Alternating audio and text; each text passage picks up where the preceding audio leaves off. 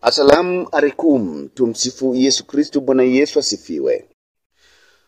Naam, mpendwa mtazamaji na mfuatiliaji wa Upashanaji Media ama U Media, upo nami Hankoto Mpanji, mpashanaji wako, nikiendelea kukushukuru sana na sana kwa kuendelea kusubscribe, kushare, kulike na kukomenti. Lakini mkataba huu unaweka sheria ya kuibana, inagawa. Kama msikia mtu anaitwa Profesa Shivji, wameweka sheria ya kuibana Tanzania kama nchi juu ya bandari zote za baharini na bandari za wapi, za, za maziwani. Unaona eh? Kwa hiyo kuna katika huu mkataba mama huu huu ni mkataba, ni sheria, na bunge likishapitisha ile karidhia inaitwa ratification katika sheria za kimataifa eh, ina maana kwamba hii ni sheria inayoibana nchi ya Tanzania. Juu ya hiyo mikataba, hayo mashirikiano unayosema hayo hayo yatakuja. Yatakuja makampuni mbalimbali yataenda kusajiliwa BRELA, watafanya biashara hii, watafanya biashara hii, lakini hizo biashara zitafanywa chini ya mkataba huu au chini ya, ya, ya, ya huu mkataba uliowekeanwa kati ya serikali ya Tanzania na serikali hiyo ya Dubai. Kwa hivi huu mkataba unaifunga Tanzania mwenye uchungu na mali ya nchi ya vizazi vya sasa na vizazi vijavyo, anaweza kaingia mkataba kama huu. Tumeweza kufanya makosa hayo labda kwa mgodi fulani wa madini, unayachimba yanaisha, sawa eh? Lakini bahari hii haishi, umejifunga eh?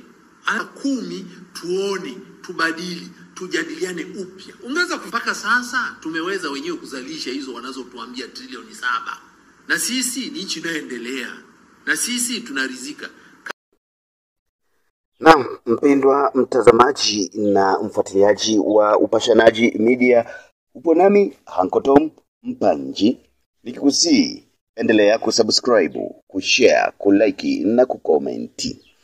Tutaendelea na mwendelezo wa makala fupi fupi kuhusiana na vipande vipande vya sehemu ya tamko la Baraza la Maaskofu Katoliki Tanzania, tamko lililosomwa na Katibu Mkuu wa Baraza la Maaskofu Katoliki Tanzania, Padre Dr. Charles Kitima.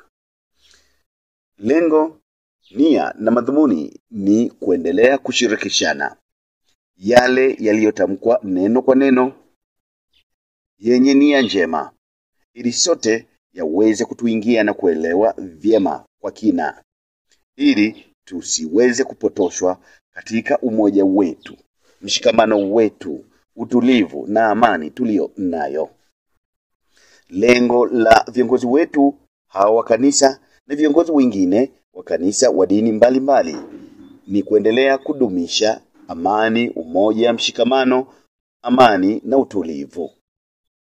Hivyo basi, tushiriki sote katika kufuatilia yale yanayozungumzwa na viongozi wetu, tuyapokee na tuyatafakari na kuyachukulia uamuzi bila kusukumwa ama kushawishiwa ama kulazimishwa na mtu yeyote. Ni matumaini yangu tutaendelea kuliombea taifa letu ili tuendelee kudumisha amani na utulivu tulio nao na umoja wetu bila kujali dini, itikadi za kisiasa, rangi, ukabila na ubaguzi wa aina yeyote. Maisha ni adui usiyemfanyia uadui, na dhalimu usiyemdhurumu na mchokozi usiyemchokoza. Ni ujinga kujivunia yale yasiyobaki kwa ajili yako, wala wewe hubaki kwa ajili ya hayo. Matunda ya maisha marefu ni maradhi ya ukongwe. Vitu vitatu havipatikani na maisha ya mtu: chuki, uhasidi na tabia mbaya. Asante, stay online. Endelea kuwasha data yako ili uendelee kupata mazuri ama habari njema hii. Makala nyingine coming soon, hivyo endelea kubaki nami. Asante.